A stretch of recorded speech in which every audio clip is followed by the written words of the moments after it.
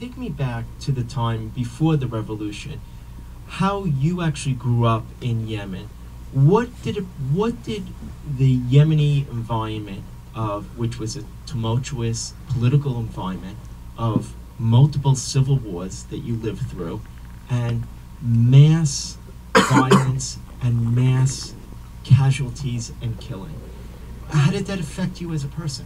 Look, uh, as I told you, and if you ask every Yemeni now, we know my country, our country very well.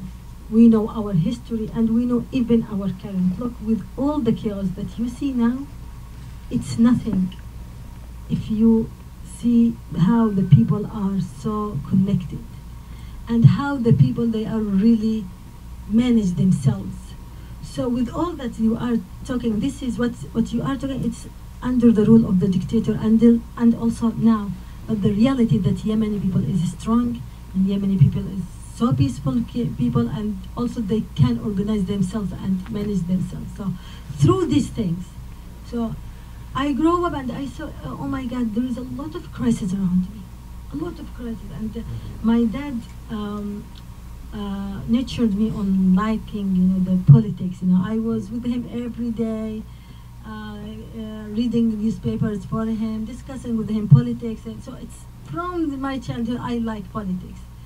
So, but always I ask him, what should I, what, what, how can we do? Our country is you know, collapsing like that. He gave me a poem and every time I, I repeated that إذا القوم قالوا من فتن خلت أنني عنيت ولم أكسل ولم أتبلدي.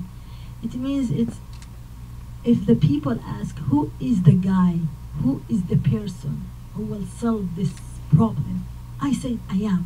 Mm. So I am. I don't be lazy and I don't be naive.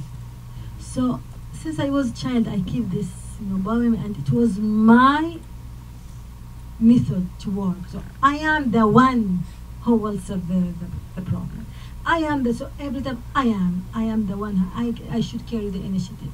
So when I saw the crisis around me in politics, in economy, in uh, security, everywhere, I was the first question: how, What can I do?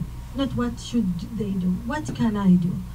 So uh, that is that is so. th- so that was, and also as I told, the belief, believing on my dream, and believing on the people, on Yemeni people. They are so look, with all the wars that happened in Yemen, Yemen didn't collapse until now. And if you are a researcher, and if you meet any uh, good researcher about Yemen, uh, the who research about Yemen, they will say, "Oh my God, how amazing people, how strong people." If you have these problems in every in another countries, you will see a total collapse society. So what is happening? That that is fake Yemen. What you talk about? The real Yemen is a strong Yemen. Is a very respected people that are now now they are facing Saudi, Emirates, Iran, and the superpower that's behind them. And we are willing to, and we will do it. We will be the victorious. We will be the one who created strong Yemen and the democrat Yemen.